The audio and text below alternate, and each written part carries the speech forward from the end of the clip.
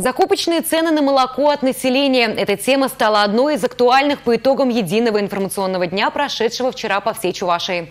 Результаты встреч прокомментировал министр сельского хозяйства республики Сергей Артамонов. Ситуация в некоторых районах ужасающая. Мы э, убедились во всем этом, дали оценку каждому району, постарались дать. Где-то работают активно, и в этих районах, где работают в понимании местной власти, сборщики молока, население, там цены сегодня на молоко на уровне 17-18 рублей. Есть районы, где абсолютно не ведется работа. И вот, например, в Урмарском районе цены дошли до 11 рублей. И населению вот, э, постоянно говорили, что у вас молоко некачественное, и поэтому у вас цены дешевые.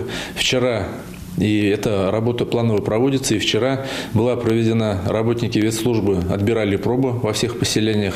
Нельзя сказать, что везде, там нигде не добавляют воду, везде качественное молоко. Но в большинстве районов совсем нет повода э, говорить, э, что молоко некачественное. Молоко абсолютно соответствует всем показателям. Очень много обращений, жалоб, э, обращений со стороны населения сегодня, где население обращается, что собирают сборщики, которые нигде не оформлены оформлены, они не знают, кому сдают молоко, нет договоров. Власти э, никак давить на кого-то, там, на перекупщиков, как вы называете, или на те организации, которые занимаются закупкой молока, давить неправомерно не могут и не собираются.